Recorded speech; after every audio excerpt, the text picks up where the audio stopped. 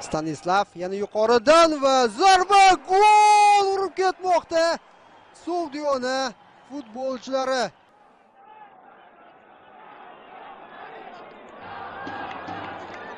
Qahramonov golni nishonlamadi. Buxoro jamoasiga hurmatni saqladi. Halilovdan raqib to'pni olib qo'ymoqda. Iminov.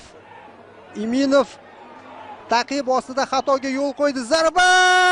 Ikki nol zenon zaymovich bugun ham raqib darvozasiga to'p kiritmoqda ushbu legioner. Oltinchi gol.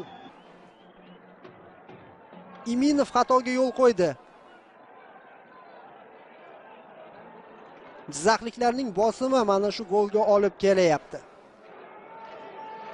Iminov hislat halilovning taqibi ostida xatoga yo'l qo'ydi. Keyin esa zaymovich gol urdi.